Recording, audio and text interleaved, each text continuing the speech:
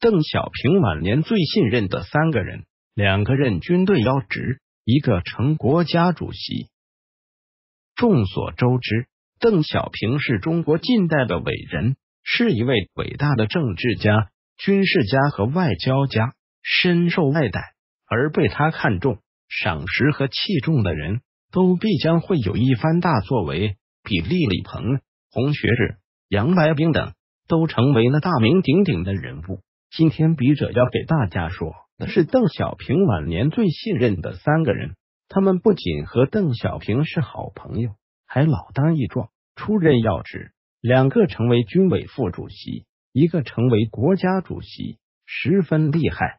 邓小平一生三起三落，一九七八年正式复出，是一是七十四岁高龄。而当时的第二代领导集体都是曾经的中国元老。年龄普遍偏大，邓小平一边致力于恢复和发展中国经济，一边在为党和国家培养年轻干部和接班人。而在他晚年，培养和提拔三位国家和军队领导人，最后都成为了了不起的人物。一九八七年十一月，十三届一中全会上，邓小平提出了辞去中央政治局常委、中央政治局委员。中央顾问委员会主任等多个职务，但仍保留军委主席一职。为了国家和军队的稳定，他亲自向中央力荐了两位从长征时期走出来的老将军刘华清上将和张震上将。由于邓小平的力荐，已经七十一岁高龄的刘华清三次升迁。一九八七年，刘华清与洪学智同时担任中央军委副秘书长。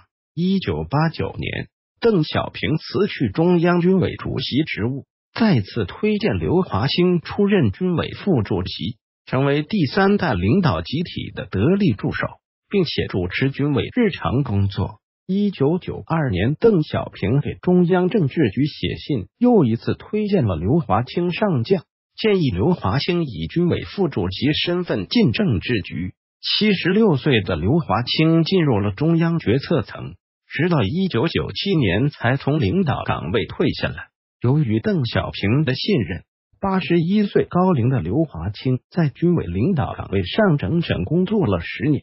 而在一九九二年十四大上，邓小平出来刘华清上将，还推荐了张震将军出任军委副主席。两人共同辅佐的三代领导集体主管军委日常工作。邓小平晚年推荐和提拔的人中，还有一个出自四川昭明革命家族杨氏家族的杨尚昆。他不仅是伟大的老革命家，也是邓小平第三次复出后的重要助手，深得邓小平信任。杨尚昆在文革期间被撤销一切职务，被监禁达十二年之久。中共十一届三中全会后，党中央才为其彻底平反。恢复了名誉之后，杨尚昆担任中共广东省委第二书记、副省长，中共广州市委第一书记，兼任广东省军区第一政委、党委第一书记。在广东工作期间，他坚持党的十一届三中全会确立的解放思想、实事求是的思想路线，贯彻执行以邓小平为核心的党中央制定的把工作重点。转移到社会主义现代化建设上来的战略决策和一系列方针政策取得很大成效。一九八一年七月，杨尚昆任中央军委常委兼秘书长；第二年九月，任中央军委常务副主席兼秘书长，协助中央军委主席邓小平主持军委日常工作。一九八五年，中央军委按照邓小平裁军一百万的重大决策，在杨尚昆的具体主持下，胜利的完成了这项光荣而艰巨的任务。由于他坚决贯彻党中央各项政策方针，深得邓小平信任。一九八八年四月，在第七届全国人大第一次会议上，杨尚昆当选为中华人民共和国主席。他作为以邓小平为核心的第二代中央领导集体的重要成员，参与党和国家各项重大决策，为新时期社会主义现代化建设和改革开放事业做出了重大贡献。邓小平不愧为中国近代的一代伟人，他伯乐识马，提拔重用了刘华清、张震和杨尚昆这些优秀的领导干部。